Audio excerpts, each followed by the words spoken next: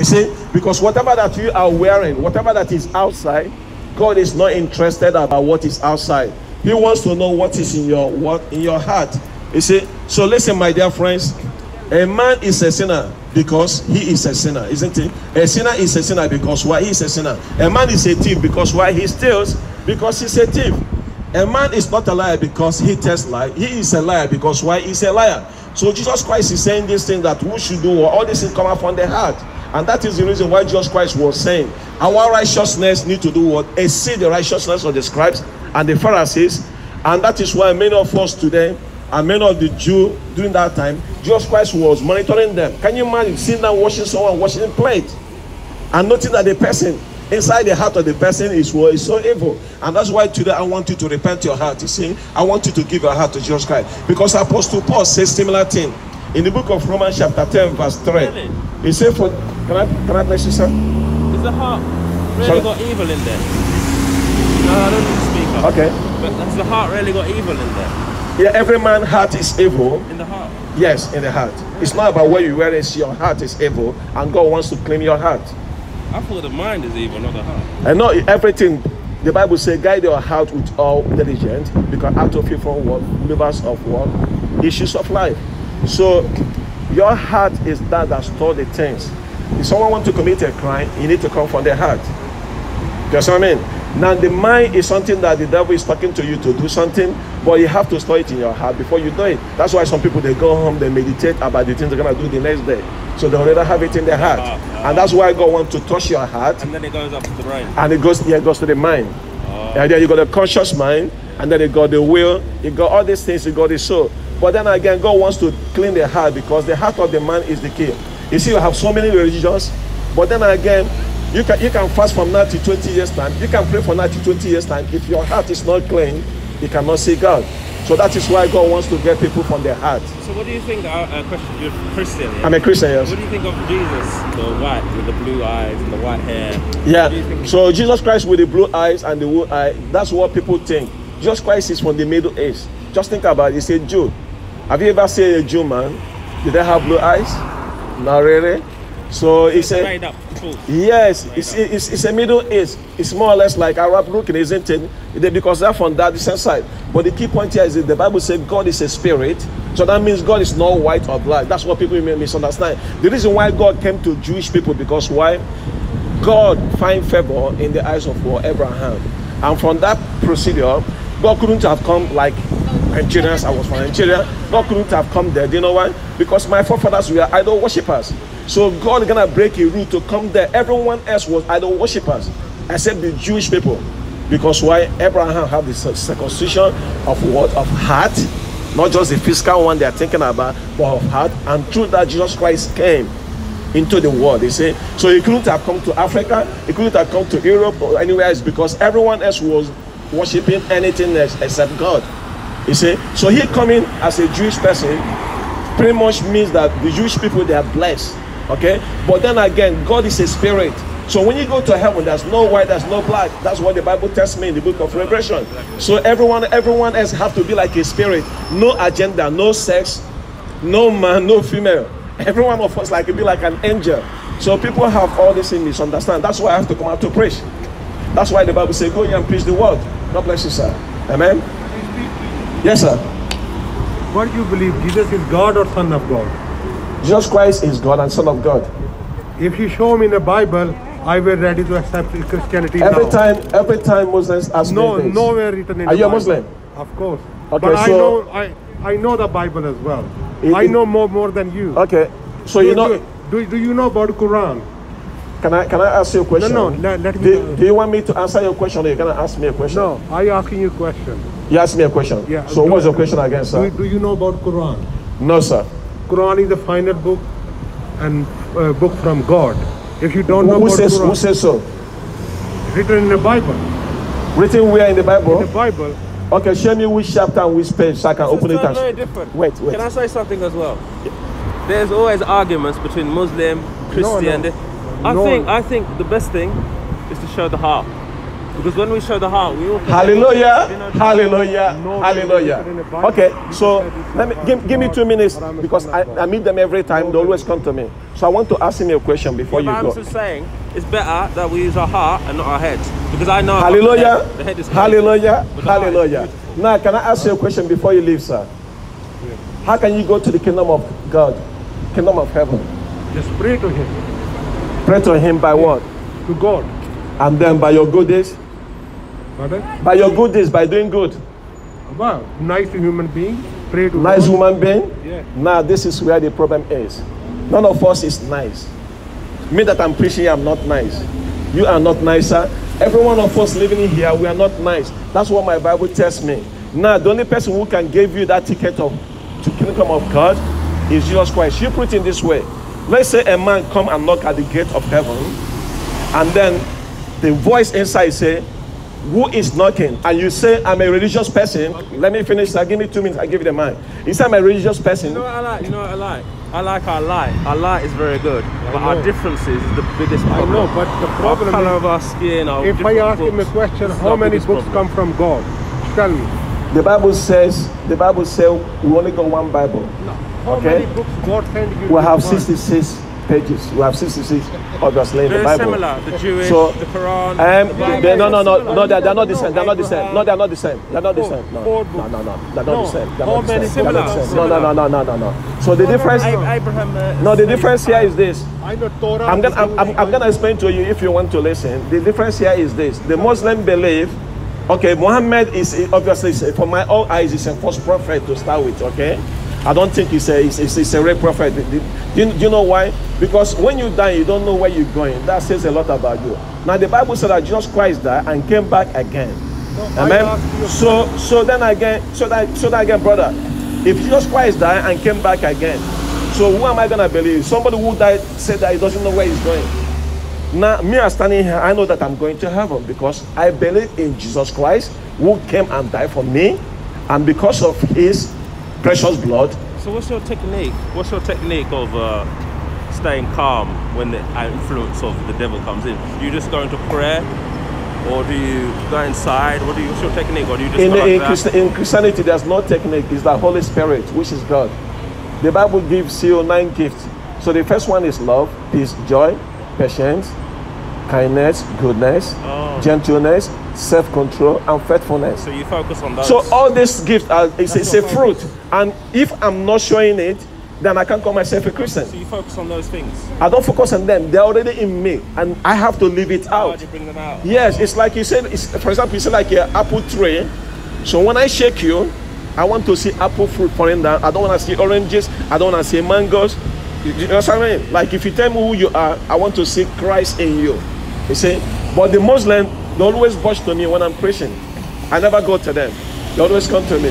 So there's a, there's a spirit there that is attracting them. You know, if a lot of if you feel confident, if you feel confident about your religion, if I say a Muslim not preaching, brother, if I say a Muslim not speaking, I will never go to him. Do you know why? Do you know why? Because I'm content with what I have. I don't need to learn about Muslim. I don't need to learn everything about Quran. For me, it's a false book. I also think uh, Muhammad is also a false prophet. Yeah, yes, he's a false prophet. If you are dying, you don't know where you're going. What's the point? It's like a blind leading a blind. Does it make sense to you? So if you are conf- if you are confident who, who you believe, you don't have to fight for your God. If somebody says something about your God that is not nice, which if anyone will have intelligence say that, but then again, you don't have to fight for your God because my God can fight for me. So we are not being called to go and fight for God. We are called to do what? To preach the word. Now the word gonna be like a seed. Now it depends on the way he falls. If your heart is ready, you accept. If your heart is not ready, maybe be for another day. And that is why You know what I found out? I found out because that's what I do. I go around helping out younger kids Yeah. to uh, in Hackney and Tottenham, you know, the crazy ones in their Yeah. and all that stabbing people. Yeah. I help them out, you know, Yeah.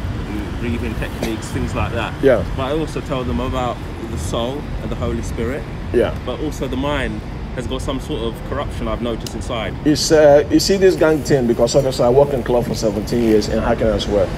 So you know So I you work. know. I know I know a lot. The, the, the gang is a devilish. It's a gang is a demonized. So it's not about only talking to them. You can talk to them tomorrow and be good. Then the next few years they will change. They need a Holy Spirit. They need God. You see, the heart of man can never be clean from outside. They have to clean from inside. That's why Jesus Christ was talking to the Pharisees. They were Jewish people. Remember, they're the one that came in. Then he was telling to them, "You outside look so beautiful, but inside you is full of what? Dead man bones and coffins and uncleanness." So God is want to want walk them away from their outward and external into what internal changes. And that is only where God can change man from inside, not from outside. From inside, God will change you. I worked for club for 17 years. Just, just imagine that, brother. And all these years, I never give my life to God until I find Jesus Christ. You see? So only when you find Jesus Christ, you receive the gift of the Holy Spirit. That is only when you can live what call yourself a Christian. You see, many people today they call themselves a Christian, but they're all drinking, smoking, they're all doing the same. So Why? Because Jesus. They said that Jesus turned water into wine. Yeah, They said I preach about I preach about I preach about it the other day. They're mistaken. They're mistaken. There's no way Jesus Christ gonna get you drunk. No. Just think about You know that. I think? You know I feel? You Yeah. might disagree with me, but I feel at that time, you know, the the water, he didn't turn into wine, but he turned it into. No, you talk, no. Let me explain to you No, let me I just say, let me it. just say my Oh, point. go ahead, go ahead. I think he turned it into uh, red-colored water. I No, no, no, no, no. And because they're already no, no, drunk. no, no. In the Jewish, what they call wine is a fresh, pressed or grape juice. Uh, That's what they call wine. Now you got the fermented one. That wasn't You got fermented. you know fermented. That's the point. Uh, You remember, you remember, you remember, you remember about the Lord's Supper. No, you got that. Listen, brother, you remember about the Lord's Supper when Jesus Christ says about the bread and the wine. Yeah, yeah. Do you know how the Jewish people do the bread? Without yeast, without ferment, without sugar. Exactly. Yeah. yeah. Now you think about that, right. and that also related to what to the grape. So the grape was freshly squeezed grape, not fermented. Yeah, yeah. Um, um, not fermented. There's no sugar. There's no yeast. There's nothing there. Because obviously, if you have to, if you have to make the drink too strong, guess what? Even those days, brother, even though days, the ones they're fermented, they're not. They're not like the drink they sell in the shop these days. Oh, God, that's. You you know what I mean? That made you mad. Yes, and just Christ then again say, don't fill yourself with wine, but guess what? Fill yourself with the Holy Spirit. Oh, come on. You got a point. And there's no way God is gonna tell you Yeah, to I stay away from wine and get you drunk. me, I was 19 years. I don't need the microphone. Yeah, go ahead. I was 19 years. Weed, cannabis, a gun on my waist. Now I left it all alone. Hallelujah. Now, hallelujah. But now there's work to be done in the brain.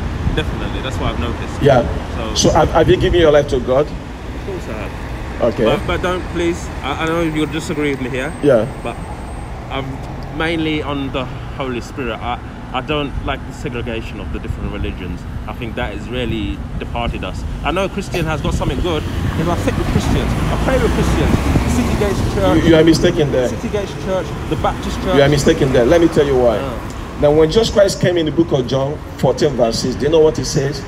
I am the way. the word. So that means every other religion, both Hindu, both Muslim, have been wiped out. Both Buddha, every religion have been wiped. He said, I am the way. So that means if you follow that way, you can miss your way. He said, I am the truth. So that means it's not in your life. He said again, I am the life. So that means in him you have eternal life. Now you tell me any religion who say they are the way. No one, nobody, nobody can say he is the way. I cannot even say I'm the way. Nobody, not even any religion can come here and say if they said that, God will deal with them. So what do you think of the, uh, you know, the, the Christians, uh, their, their healing? You know, the, when they say they can heal people through the blood of Christ. What do you think of They put their hands on your head and they take away things. Yeah, I can pray for somebody. If anyone who is sick, if anyone who is sick come here, I will get healed. Ca- Can you do that? It's not me doing it, it's the, it's the Holy Spirit. It's Holy Spirit, it's God doing that. To make a blind man see. Yes, God can do that, not me. I just have to, as I'm a servant, I just pray. Now, two years ago, two people got cancer in my church. Pastor prayed for them, and they're all healed. So this week, as we're going to go and pray for another lady who is got, got cancer, and we believe that she's gonna get healed. You say, brother, listen to me. There's a power in the name of Jesus. Do you believe that? I, I know that. I know There is power in the name of Jesus Christ. Now, me, I'm a testimony speaking to you now. Two years ago, I was diagnosed and they told me they couldn't cure me. And I give my life to God, He healed me. And look at me here, I have to do the work of God because when God's heal me, I say, This is the God that I have to serve. And that is why today, tell me any Muslim who can come here and tell me that they have the power to heal.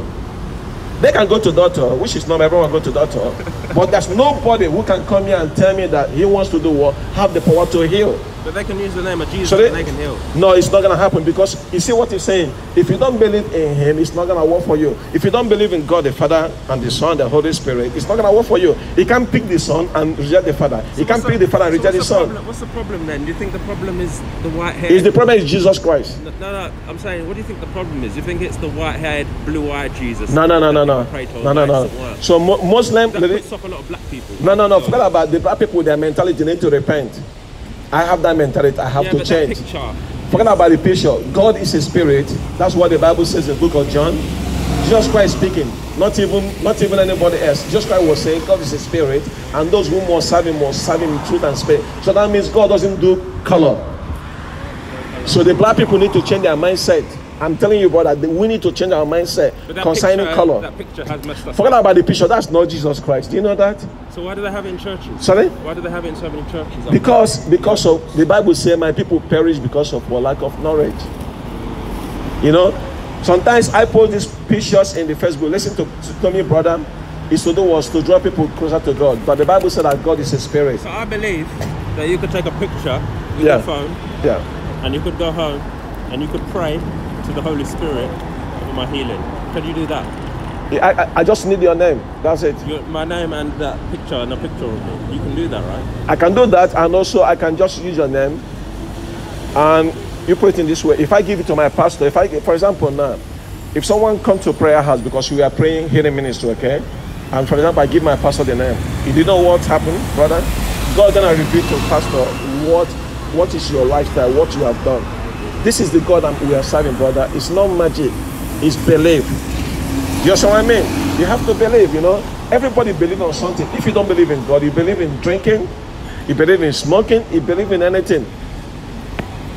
But I want you to give your life to God. So what happens? And I want to change your mindset to the word of My God. mindset is changing. I'm just happy to hear you and speak to you. I have many abilities myself you would not believe. Yeah. I've got one more question to ask you. Go ahead. Just one more question. When you're praying for the healing of someone and you feel an interruption coming in from somewhere, what do you do with that interruption? Just like we're speaking now and there's someone who throw a dagger. What do you do with that interruption? So, so this happened to me uh, last year. I was in a dream, and I was uh, I was falling asleep. God, God lifted me up. You know, like He got the minions, the devil on the ground. I was up. I could see everything, and God said, "Send the fire of the Holy Spirit," and I sent fire, destroy them. He said, "All these things cannot be done by your human flesh. Everything have to run in the spiritual realm. Before somebody get healed, that battle need to be fought in the spiritual realm, and then it happens on the physical after." so you can still pray and even if you get interruptions, it will still work. They they therefore have no power. Let me tell, let me give you a secret before you leave, or let me give you one of wisdom. God created devil. Can we agree on that? Amen. God created devil. Okay. Okay, and the same God that created devil, he lead devil and devil to be doing something, to be doing whatever he's doing. So God is in charge of devil, and God can remove devil in a moment. God can also put devil away. God can hinder devil from doing what he wants to do to you, and God can allow devil to do that to you. So it depends on your, your relationship with God, or maybe sometimes God will let devil to deal with man of God, and then to test your faith. That's why you see some men of God, they are going through trials and tribulations and tests. It's because what God allowed that to happen. Look at Job. Look at the life of Job. God allowed that to happen to him, but then I tell them, don't touch his soul. So God can do everything. The same God that allowed coronavirus, the same God gonna stop this coronavirus one day. And that is why some people, this coronavirus is not a bad news. Do you know why? Some people give their life to God. The same way thousands are dying on the other side, the same way thousands are being saved on the other side. God is doing the same thing at the same time. The Bible says He wounds you, He heals you. This is the God we are serving. So sometimes God will allow problem to come into your life so that you can be saved. My own case was sickness. Without sickness, I will be in the club partying non-stop like you don't care. But then again, when I got sickness, this is the time to draw near to God. I draw near to God. You know, you know what God said to me? Close my business. I close my security company. I lose 108,000 pounds. And everybody think I'm cuckoo, I'm stupid. But look at me now preaching this straight. This is two years ago. And Where is money? few- Where's sorry? money? Money is nothing, man. Money is nothing. Now you get it. Money is nothing. Look what happened to Lazarus. Look out. There you go. I don't So- know the Bible from the beginning to the end. So, so this But is I have good. to go now because I got some. God time. bless you. What's your name again? Rashid. Rashid. Yeah. I'll pray for you, Rashid. I would love you to pray for me. I'll pray for you. Definitely. Remain blessed in the mighty name of Jesus. Amen. Hallelujah. Hallelujah. Hallelujah. Jesus is Lord. Amen and amen and amen.